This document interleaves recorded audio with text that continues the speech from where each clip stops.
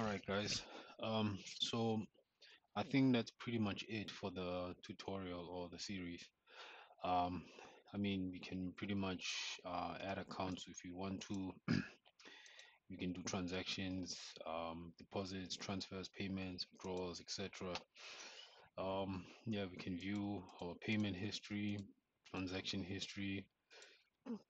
Yeah, so I think that's pretty much it. There's nothing else. And again, in the last video you saw, we can protect against um, anyone trying to access um, unauthorized pages um, using interceptors and all that. Now, um, look, I just wanted to share this uh, project with uh, those of you who probably are learning uh, Spring Boot. Um, look, I'm also still learning the project, uh, the framework itself, along with Java, you know, and um, yeah, man, I'm not gonna lie. Um, as you saw, um, um, I still have some work to do when it comes to working with Java. Um, in the last couple of videos, we saw um, there's quite a number of errors that we encountered. Some were just um, stupid errors. I mean, stupid um, errors that you would get due to forgetting certain things, you know. And then some, you know, yeah, it's just, you know, it's just a matter of um, playing around with the with the with as many projects as you can. Um, I'm not. I had a bit of fun building this project. I know that there's a lot that goes into building banks. Um, there's a lot into that goes into how to handle transfers of uh, money and all of that. I mean, yeah, it's not a real bank, I know, but at the very least, um, it's something, you know. So it, it's a it's a good way of learning. Um, if you're learning whatever uh, programming programming language you're learning and so forth. So, but yeah, I hope um I was able to um, whoever's learning Spring Boot, I hope I was able to show you or teach you something if I did. If not, my apologies, but yeah.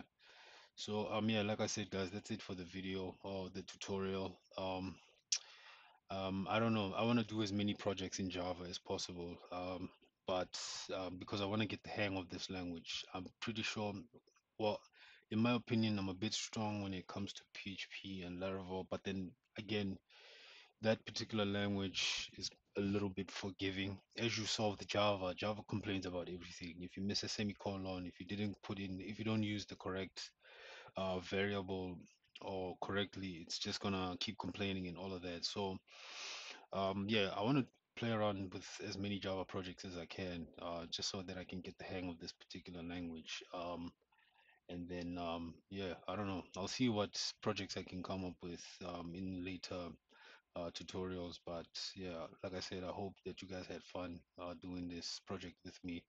I know I did. So um, that's pretty much it. So like I said in the beginning, the main thing I wanted to do was learn how to work with repositories or doing CRUD database CRUD functionality with repositories.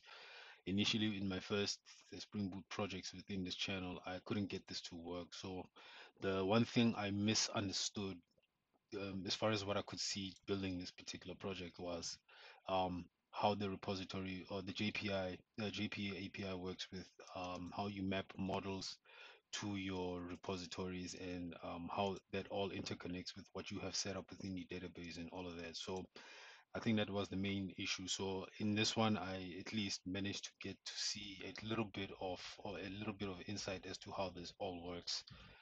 Um, and like I said before, I know that a lot of the times when it comes to working with repositories, people don't, um, from the tutorials I saw, people don't use uh, them directly within the controllers.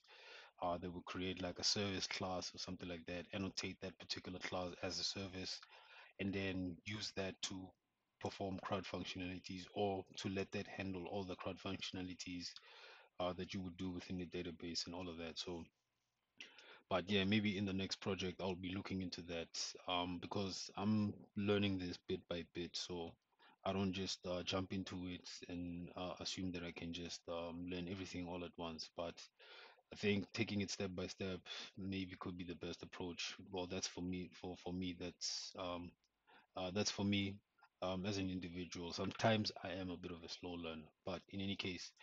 Yeah, man. Um, like I said, I hope you guys had fun uh, doing this, and um, if not, like I said, I'm sorry about that. But yeah, man, if you were following along from the beginning, um, and um, you wanted to learn a bit about Spring Boot, hopefully you were able to see the potential of this particular framework, and uh, maybe, and hopefully I was able to teach you something as well from my side.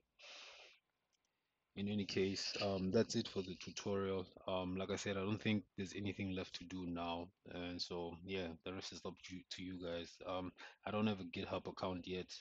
I plan on uh, setting one up so that I can share some of the code that I've been using. So, um, but in any case, I'll be doing that at a soon. Um, and uh, yeah, I'll be sharing whatever I've done with you guys. Um, uh, with uh, with you guys when it comes to these projects and all of that.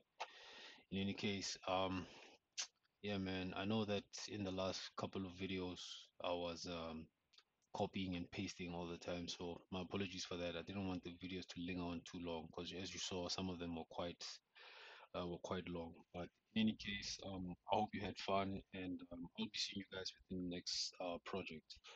Uh, cheers for now.